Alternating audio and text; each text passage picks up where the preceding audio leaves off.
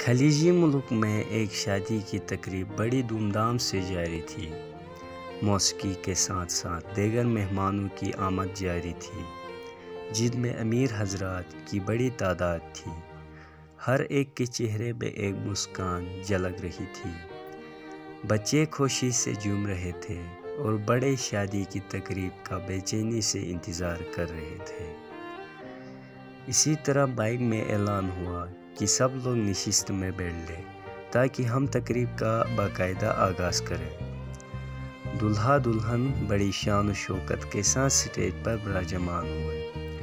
थोड़ी देर बाद दुल्हन ने दुल्हे से कान में कहा कि अपनी माँ को स्टेज से उतारो, क्योंकि मैं इसे नापसंद करती हूँ। दुल्हा गुस्से से आग बगोला हो गया। गुस्से से माइक उठाया और तीन दफ़ा ऐलान किया कि मेरी माँ को मुझसे कौन खरीदेगा? ये सुनकर हर एक के चेहरे में हैरानगी और सन्नाटा छा गया। दुल्हा ने फिर आवाज़ दी कि कोई है जो मुझसे मेरी माँ को खरीद ले।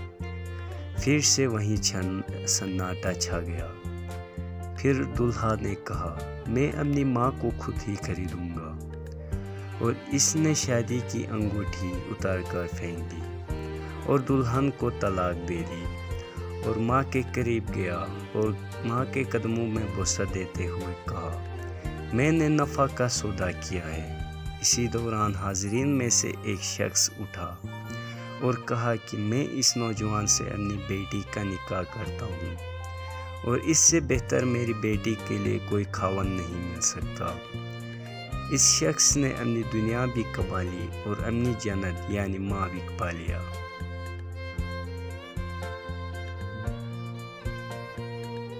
माँ से बेहतर कोई तोहफा नहीं और माँ से बेहतर कोई सानी नहीं। अपने प्यार के लिए अपनी माँ को ठुकराना जायज़ नहीं। आखिर में मैं ये कहना चाहता हूँ, माँ की दुआ जन्नत की हवा।